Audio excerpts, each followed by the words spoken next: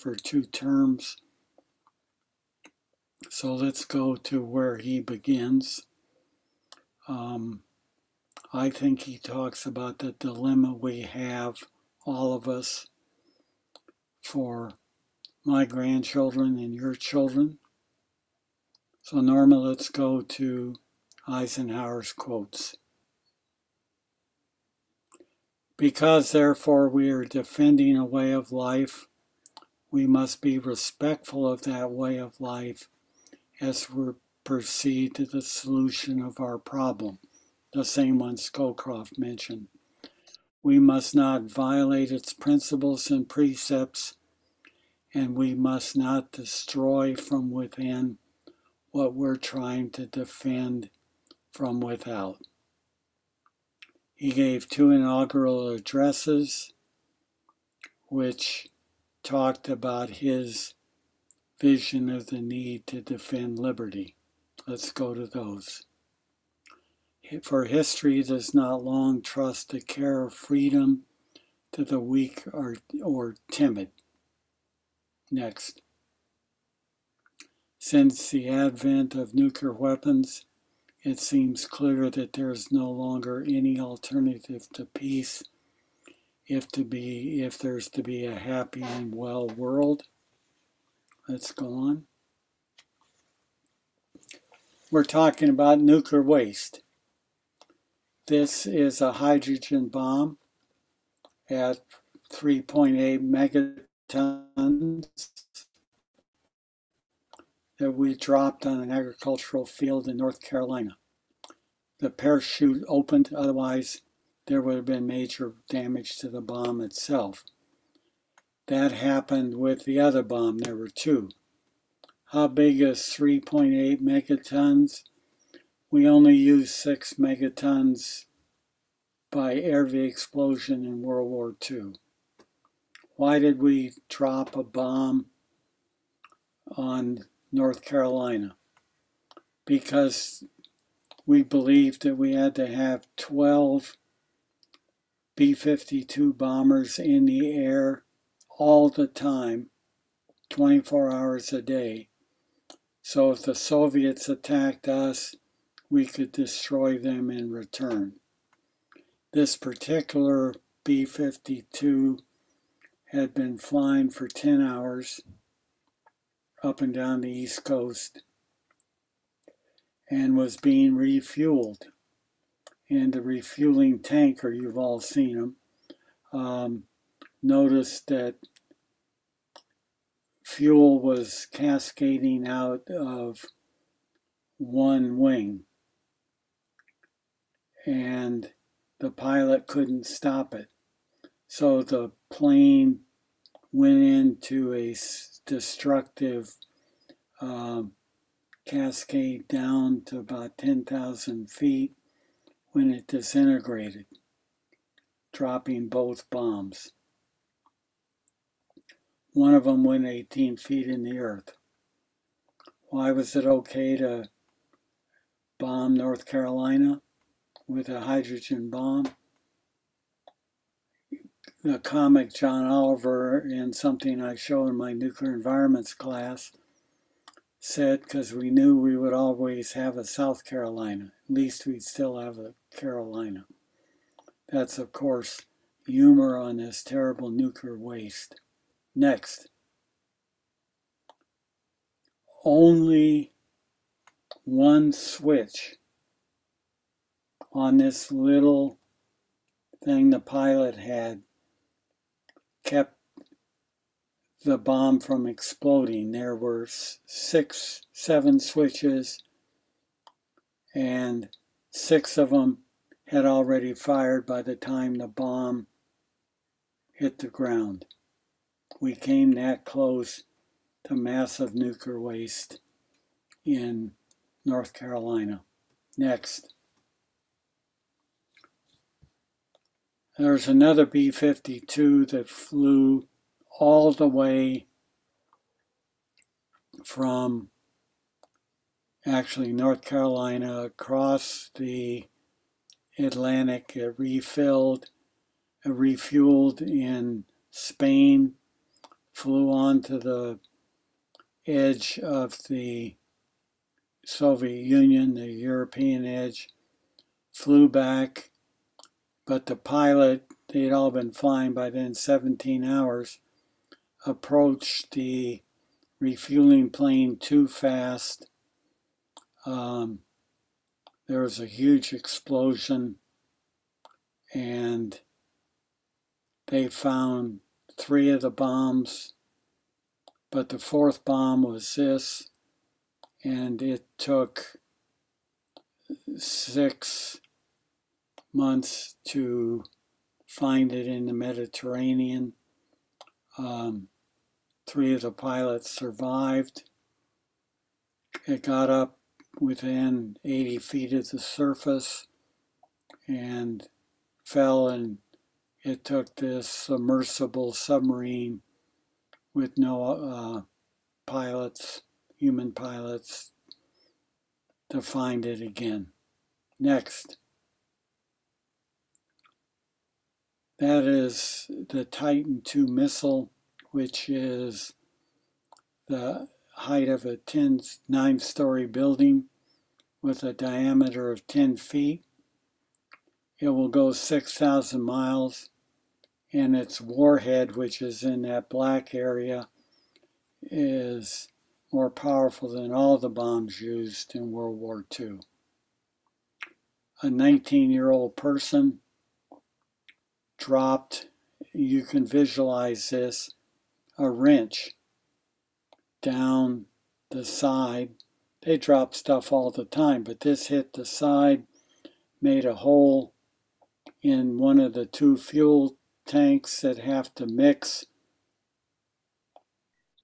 And the next one will show you what happened.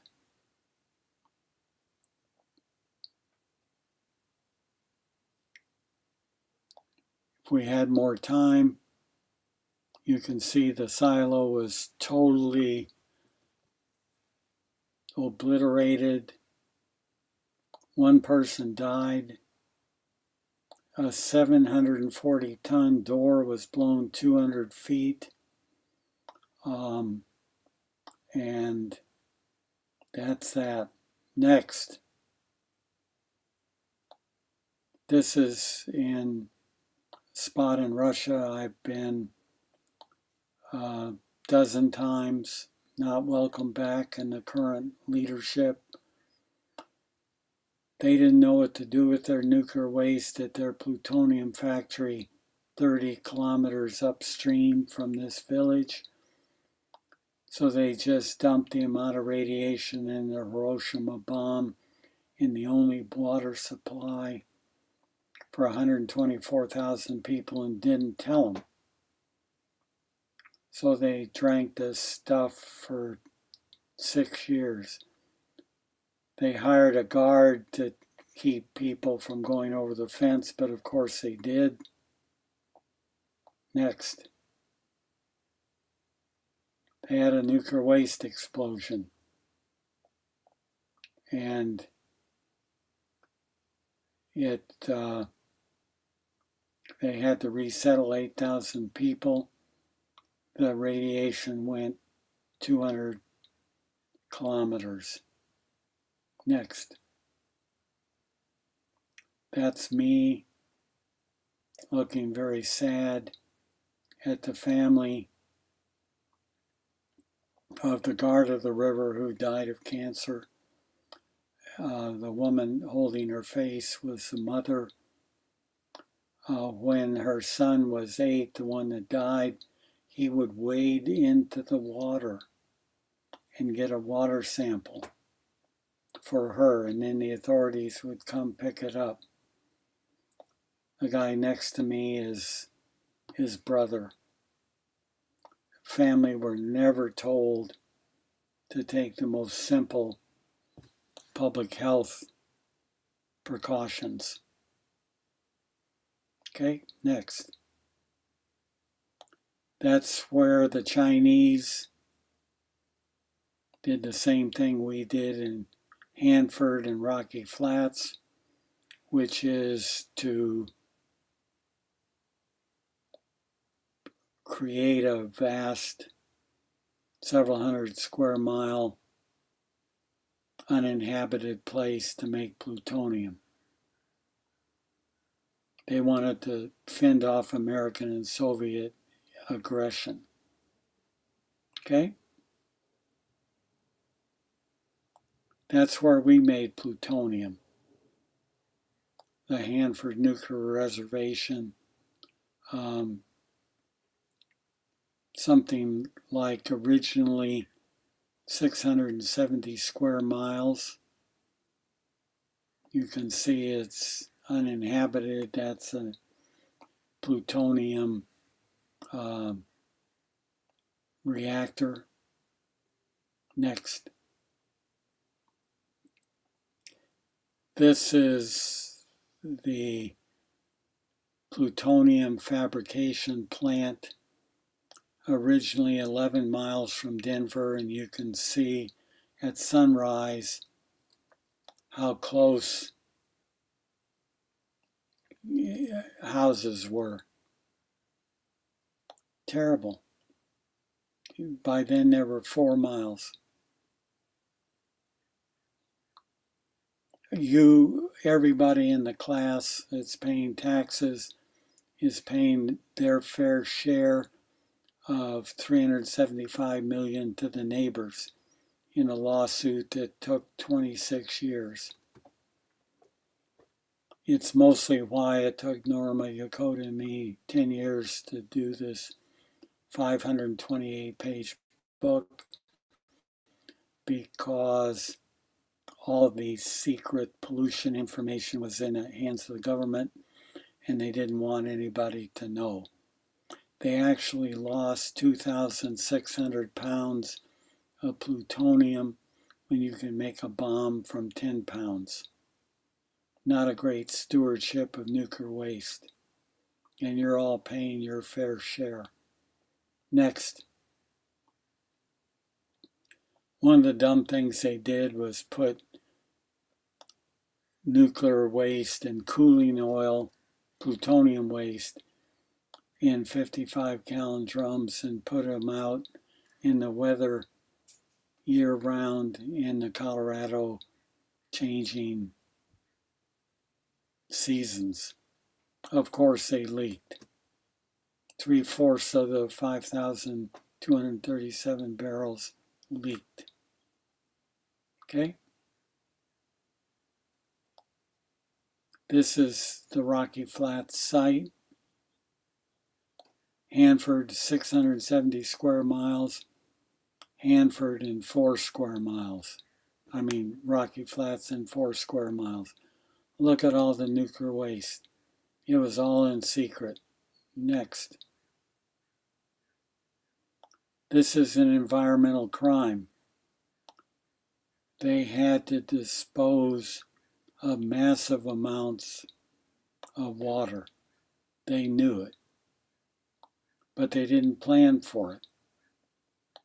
So those are common agriculture spray irrigators, and they would spray 24 hours a day, all year long, and it would run off site. So you saw an environmental crime they pled guilty to. Next. This is how it ended. That's one of the buildings. They cut it up inside and then blew it up and put dirt over it. Of course, no one thinks it's clean enough that close to where they are. Next.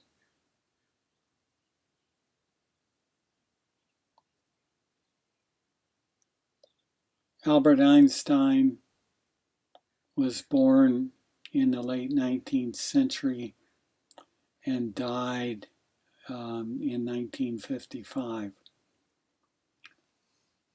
He was a brilliant thinker of how the world works.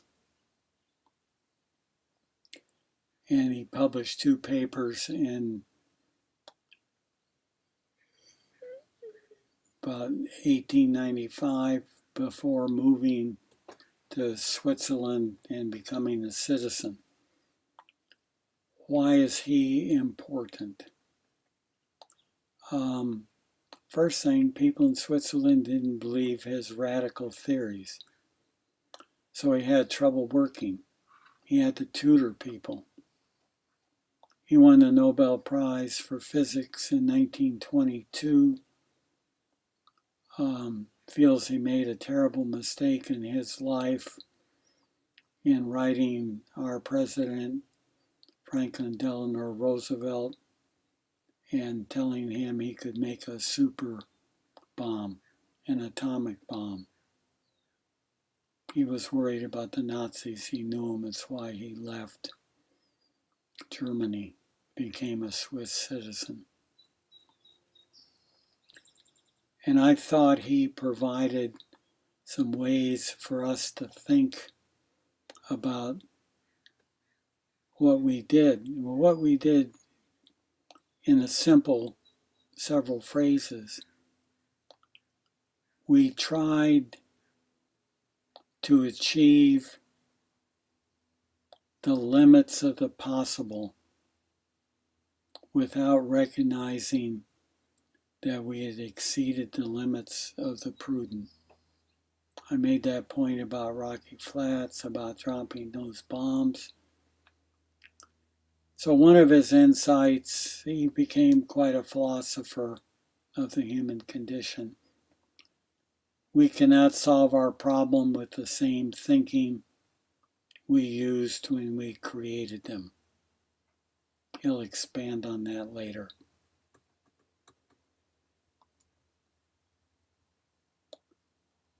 This is a message for us all. Why I was so pleased to have an opportunity to speak to all of you. Because you're trying to do something to make a better world. In any event, this is what he said. Why is the world dangerous? The world is a dangerous place to live, not because of the people who are evil but because of the people who don't do anything about it. Okay?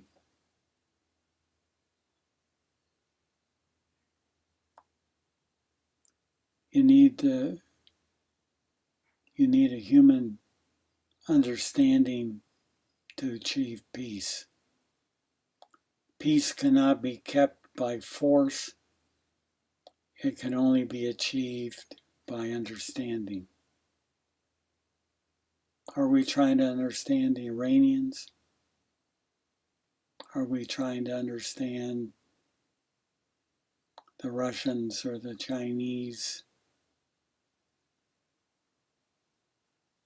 Um, we all have different views of that, but that's his message. Next. Technology can and is misused. I wanted to show you what we've done with B-52 bombers. I didn't show you the bomber that ran into the ice at 600 miles an hour in Greenland and disintegrated with four bombs on it. We were using technology to keep us safe technology, in his view, technological progress is like an axe in the hands of a pathological criminal. Next. This got my attention. World War IV will be fought with sticks and stones. I know not what World War III will be fought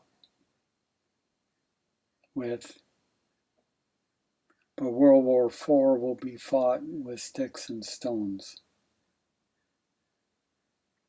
Okay?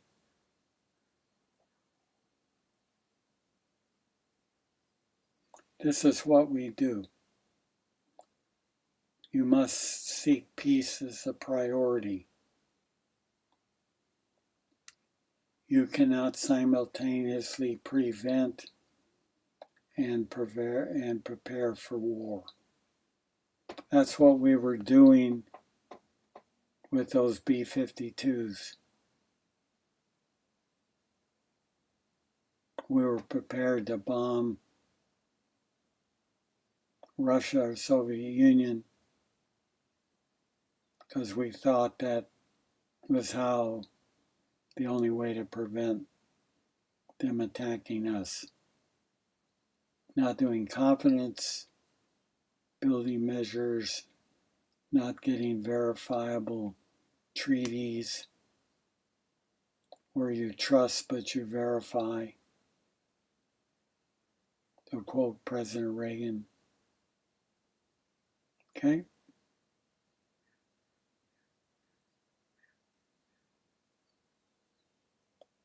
You have to solve the consequences of atomic energy. We're not doing that well. The release of atomic energy has not created a new problem. It has merely made more urgent the solving of an existing problem. And he just gave us his insights into what our problems really are. Next. I love this. I've been looking forward to sharing it with you. No mouse would construct a mousetrap. Mankind invented the atomic bomb. The basic technology we did at the University of California, Berkeley and then we ran all the weapons labs. Mankind invented the atomic bomb, but no mouse would ever construct a mousetrap.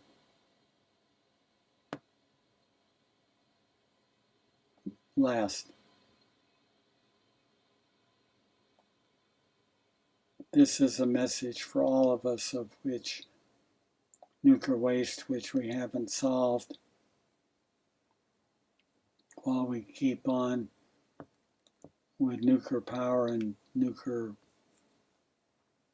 weapons, which is the subject of my summer and fall class on the nuclear environment. The unleashed power of the atom has changed everything save our modes of thinking, and thus we drift toward unparalleled catastrophe. So I started with General Scowcroft and then Supreme Allied Commander in World War II and President Dwight Eisenhower and ended with arguably one of the greatest minds of the 20th century to let you know how valuable I think your work is on altruism. So I turn my cell phone off so I have no clue what time it is. So I asked Bisma to take over. What time do we have left? Uh, we have just about half an hour left for um, questions or um, any other like follow-up conversations. I did want to ask you. Are you going to um, grade me? No. Why I, not? I, did, I mean, would would you like to be graded? This is like a good like reverse situation. Anyone have any like? If I were in your position, I'd have no choice, which is why all my tests, you know the questions ahead of time. Mm-hmm. Well, because I wanted you to really ask, have like, to think. So we now have time to talk about the present and what's on your minds, and then um, talk about the future. So let's start. You're the boss and the ringleader. Yeah, so you mentioned a lot about what we've done like in the past and that there's been like um, really no um, proper way that, for example, even just the US has d- disposed of nuclear waste. And Well, we- that's we resulted dumped- We dumped 230 spots in the ocean Mhm. around the end of World War II. What's the most beautiful place in California? Arguably, it's the peninsula uh, between LA and here. We Mhm. dumped DDT off Palos Verdes um, with a permit, legal permit from the LA County Sanitation District to Montrose Chemical. Now it's clear that we dumped at least 10,000 barrels off of the uh, Channel Islands. And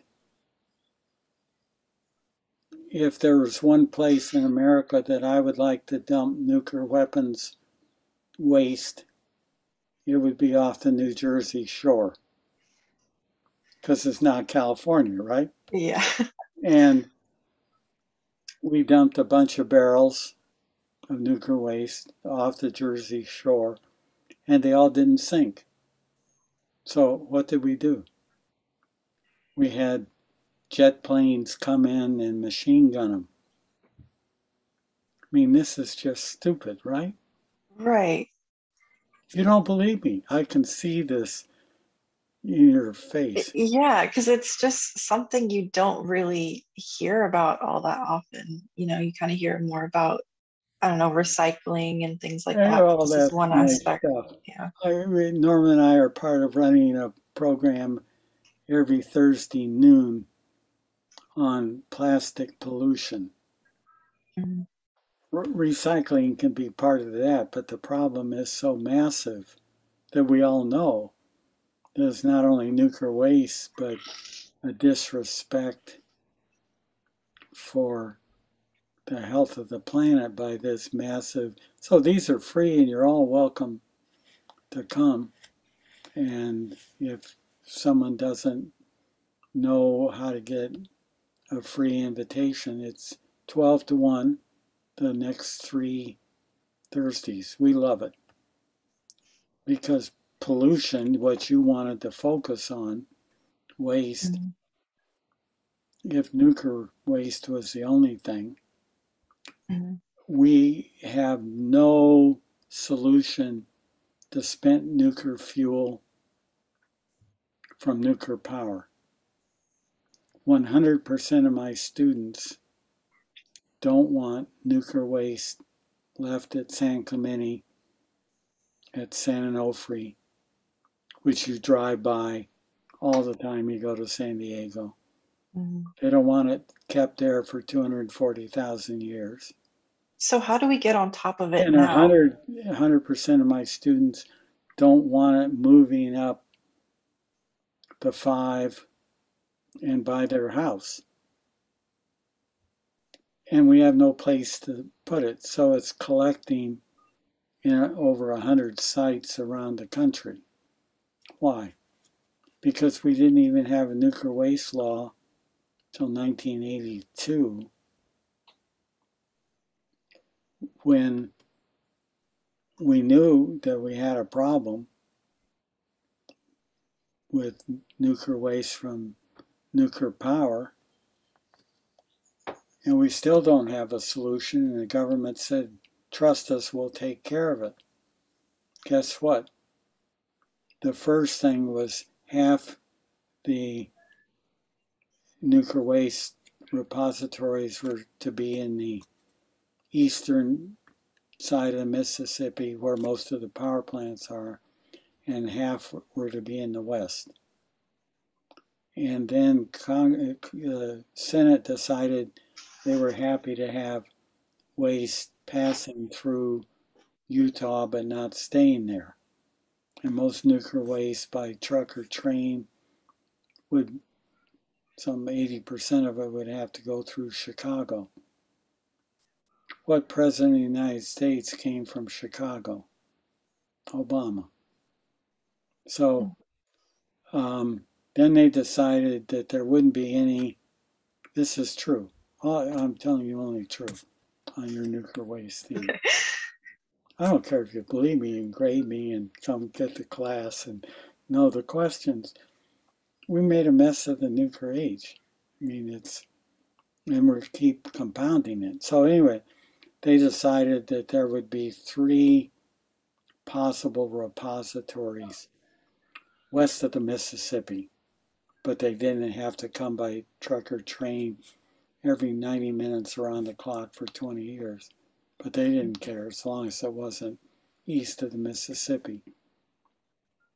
So the choices were Deaf Smith, Texas, and we all know Texas has a very powerful congressional delegation, and Washington State on Hanford, where I showed you.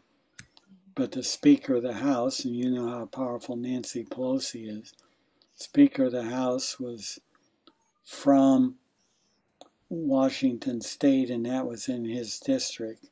So that wasn't going to happen. And what state only had one congressperson? Nevada. So they were going to site it at a place called Yucca Mountain, in the mountain. But then it would have to pass through Las Vegas. So people in Las Vegas are pretty influential. And then the another speaker, uh, Senate Majority Leader Harry Reid, was from Nevada, and his whole career had been spent protecting Nevada for nuclear waste. So it mm-hmm. wasn't going to go there. So now we don't know where it's going to go. So it's just collecting on site at 107 locations, I think. Is California going to have any more nuclear power in your lifetime? San Onofre's closed. That's a whole story. Who's paying for that? We are. Most of us as ratepayers to Southern California Edison, who owns 80% of it. Mm. Um, it's just, we, by waiting until 1982 to do something we could have done in the 50s sensibly, we now have no solution. Keep running nuclear power. There's only one power plant left in California. It's in Northern California, Diablo Canyon, and it's closing and Californians use, you've all voted in referenda. We have a referenda that there's going to be no more nuclear power in California until we solve the nuclear waste problem. You all Are there any solutions currently? Of course not. I'm not the good humor man. I'm trying to tell you mm-hmm. that that's why I love this class. It's a category A breath. um, and this is real stuff. But are we going to solve global warming without some new generation of nuclear power, not like the kind we have? Mm-hmm. Answer We have two power plants uh, under construction in Georgia. And why is that special? because ratepayers have to pay for whatever it costs. And after Fukushima, which I teach, uh, Germany decided to close all its nuclear power. Mm-hmm. Um, there are some sensible new technologies for very small nuclear reactors that can't explode and they're cheaper to build. So that's one of the exam questions in my class, which I would flunk because there's no known answer, but I'm giving the test, not taking it. Mm-hmm. But it's a thought question. Next. What are like the different sectors that we can invest in to help solve this? So would it be more like research and development or just Oh, yeah. education or All of the above. I mean, I think, well, let's step back. Do we live well with our use of energy? Absolutely. Mm-hmm. Does the rest of the world want to live like us? Yes. The world energy development is going to increase 50% by 2040. This is 2020. People want to live like us. Now, the costs of solar and wind have gone down. Hydrogen is very promising. These expensive grids won't work in something like sub Sahara Africa. But solar can make a real difference. Mhm.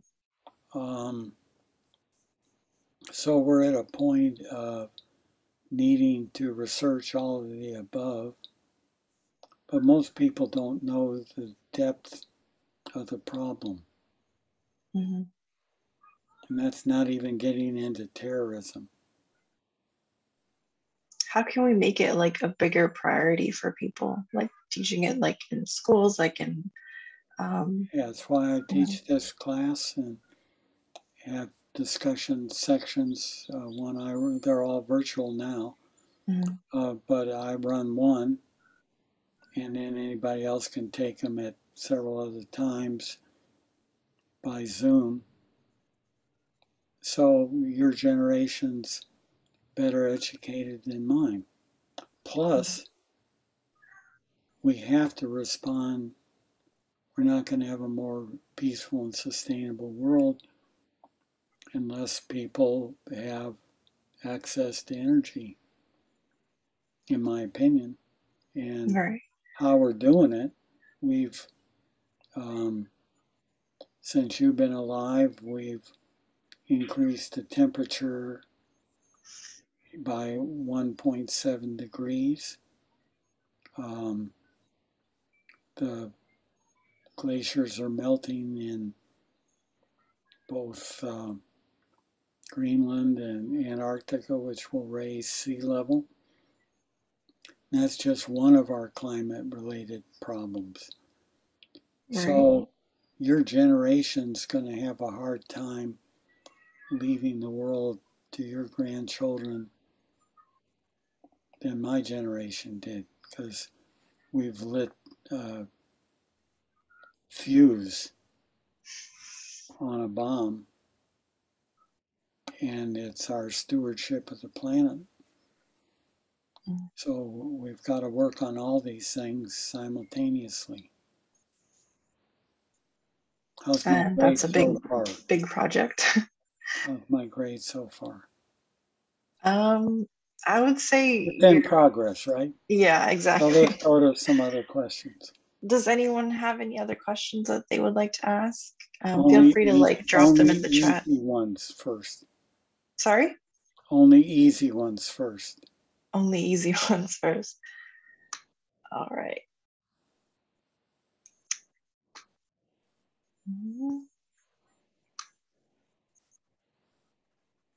Silence is golden.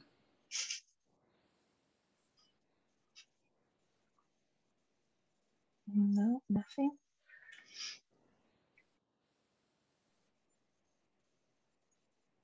All right, so it looks like someone's asking, how do we educate our peers about this issue? Keep your work up on altruism and compassion. Um, caring for each other, getting concrete.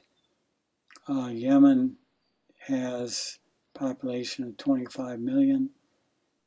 We were helping Saudi Arabia in their proxy war with Iran there. There's been no credible way to engage and stop it. A million people are at risk of cholera. And 14 million are at risk of starvation. The um, UN Food Program is a recipient of the Nobel Peace Prize for 2020 for helping keep 300 million people from starvation hmm all over the world. So, nuclear waste is a problem. You start with education, and but so many of these, why I really welcome the chance to talk to your group. So many of these problems are what Einstein was trying to tell us about.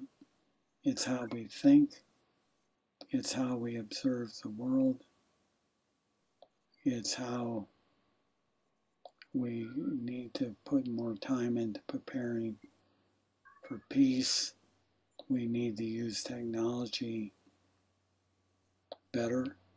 hmm Um, Yeah, and someone was asking if there's a way that we can make a difference, like at a policy level. Sure. Um, and that is become informed yourself. There are a lot of people who teach real classes about this stuff. Richard Matthew teaches two quarters uh, called sustainability. It's between um, urban planning and pu- public policy and earth system science. It's blending two groups that organizationally have to be separate, but they need to work together. And my hope for your group is you expand the membership. We sent you today's program so you can send it to others. Um, Mhm. pollution is what we focused on in waste. Um, but to keep it manageable, I only chose a few examples Mhm. Of the nuclear side of nuclear waste. But coal and is a source of energy that's making the world worse, dramatically increasing greenhouse gases. Methane is a real problem because parts of the Arctic are melting. So it's taking courses here because we're pretty good at it. Mhm. Um, there are a lot of really good master's programs, uh, which, you know, UCLA had a 140,000 applications to get in. We had 135,000 com- comparing or uh, combining transfers and first year student applications. Wow. So you're a very competent group of people as a class. And I didn't have a single person ask me to write a letter for them for graduate school who didn't get in either here or at USC to a Mhm. master's program because you're so competent and qualified as a group. Mhm. Are there any ways to get, you know, directly involved with, you know, for example, research or any policies like here at UCI that you can recommend, um, at least as a first stepping stone um, love outside of classes? I love UROP, Mhm. Undergraduate Research Opportunities Program. Norm and I were part of having a grant that funded 233 for the summer um, over four years. And um, you get that by your coursework, Mhm. uh, knowing what professors are doing research in what areas, and go about um,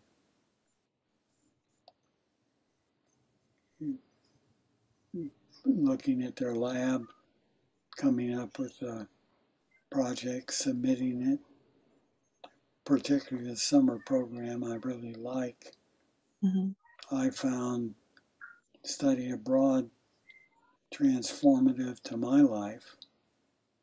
Um, and we have a brilliant program in social ecology called the Global Scholars Program, where Mhm. you can go actually be immersed in a culture with it's got three or four classes associated with it. And they go to parts of the world that are changing where their own time can help them transform. That's one of the most exciting programs we have. Professor matthew really runs it he runs the uh, again close to your value system um, the blum centers for poverty alleviation. And i go to their webpage. These are all people reaching out to students to engage them in Mhm. real stuff social ecology has an advanced field study where you spend a year academic year in some setting and also meet the upper division writing requirement.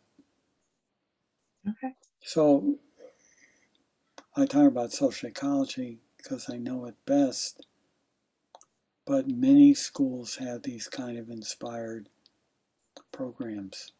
Mhm. That was an easy question. I mean, that's what I had prepared, and we're just about to wrap up because we have five minutes left. So, um, I mean, we can't go on.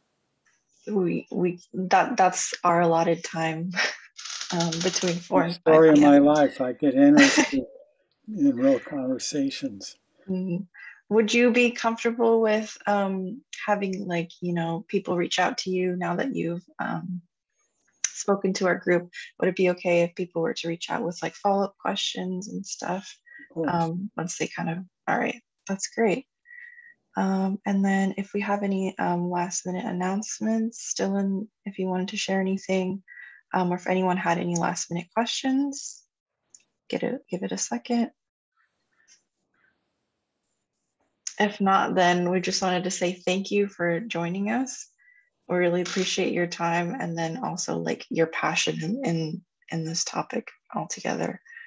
Um, Yeah, but it's what you're doing with your altruism work. Eisenhower talked about it.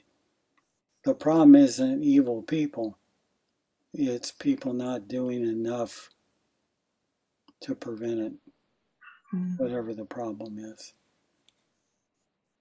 all right. Thanks for having Norma and me. Of course. Thanks again for coming, and Thank then you so thanks much, Professor everyone else as well. Okay. We will meet again, I hope. All right. Have a good one. And don't forget, plastic pollution is free and at high noon the next three Tuesdays. If you need, uh, I'll ask Norma to send you so you can send it to everybody how to register free. All right. Sounds good. I will send up will a follow-up. quit promptly at one. So it's like today with me cheated out of four minutes. Uh, I'm just waiting to see if there's going to be any more like last minute um, questions or This has um, been comments. wonderful, and I appreciate spending the last part of Friday with all of you. Yeah, Bye of for now. course. Thank you. Thank Thank you. Thank you.